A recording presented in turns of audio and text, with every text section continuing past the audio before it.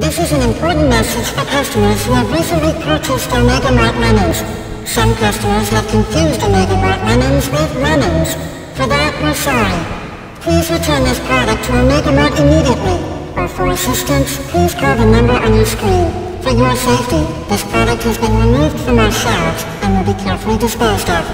Omega Mart thanks you for your continued trust.